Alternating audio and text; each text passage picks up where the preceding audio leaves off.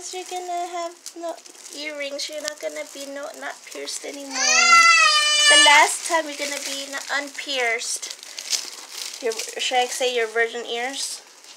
See, they do. There is such a thing as virgin ears, babe. See, virgin. She keeps following the light or the phone. Happy six months today.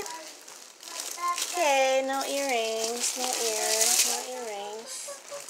Good, huh?